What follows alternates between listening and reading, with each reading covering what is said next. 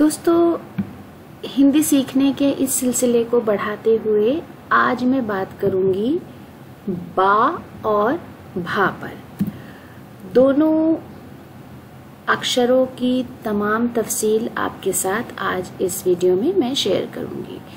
तो जब हम बात करते हैं हर्फ बा की तो जिस तरह से उर्दू में हम बे, अलिफ लिखते हैं और जो आवाज़ आती है वो इसकी है। और अगर उर्दू इक्वलेंट की बात करें तो ये बे का इक्वलेंट है। इनिशियल या आधा फॉर्म ये है, जिसे हम दो चश्मी है की मदद से उर्दू में बना लेते हैं, उसको इस तरह से हिंदी में लिखेंगे। तो सबसे पहला जो लफ्ज मैंने लिया है, वो है बाब। बाब का मतलब आप जानते हैं, अध्याय है, बा में आ की मात्रा और बा, बाब। बचपन। यहाँ पर उर्दू में भी लिखा है। फिर है आबकारी, बेकार, बुज़ुर्ग, बगदाद, उर्दू में भी लिखा हुआ है, बाजीगर। उसके बाद बुद्धिमान बुध बेपरवाह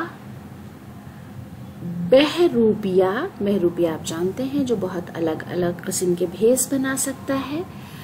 बंटवारा, बड़बड़ाना बद तहजीबी ये हो गए। और उसके बाद हम बात कर लेते हैं आधे बा से बनने वाले अल्फाज या फिर उसके इस्तेमाल पर। सबसे पहला जो लफ्ज़ लिया है मैंने, वो है अब्बू। आ, फिर उसके बाद आधा बा, जिसको हमने इस तशदीद के ज़रिए उर्दू में जिसकी आवाज़ बनाई थी, आधा बा बा में बड़े ऊ की मात्रा, अब्बू, और फिर उसके बाद बब्बू। बा, आधा बा, और बा में बड़े ऊ की मात्रा, बब्बू। उसके बाद कब्ज़ा। तो का के नीचे एक डॉट लगेगा, काफ की आवाज़ के लिए आधा बा, और जा के नीचे भी एक डॉट लगेगा, कब्ज़ा। जब्त। जा के नीचे डॉट, आधा बा और ता, जब्त। उसके बाद आ गया ब्याज। आधा बा या में आ की मात्रा और जा। तो बा, आधे बा से लफ्ज भी बनते हैं।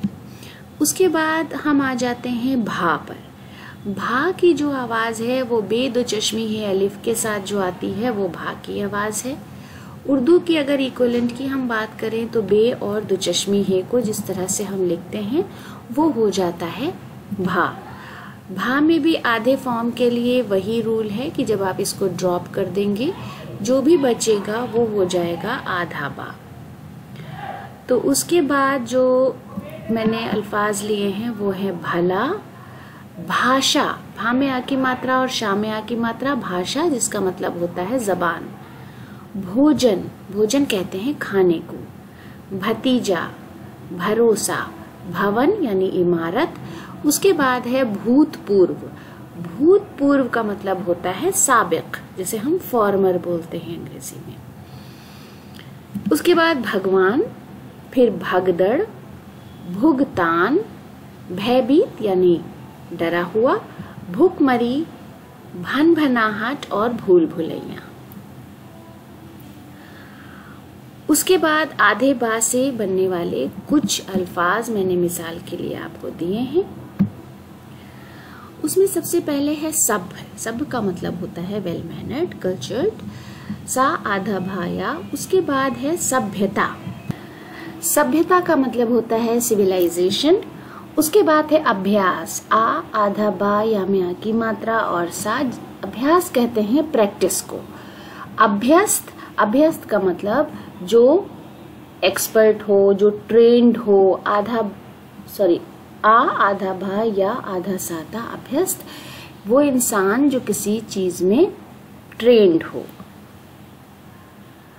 तो दोस्तों, आज के लिए हमारी ये पेशकश थी। उम्मीद है कि ये वीडियो भी आपके लिए फ़ायदेमंद रहेगा। आपके कमेंट्स का हमें कमेंट्स बॉक्स में इंतज़ार रहेगा। वीडियो देखने के लिए बहुत बहुत शुक्रिया।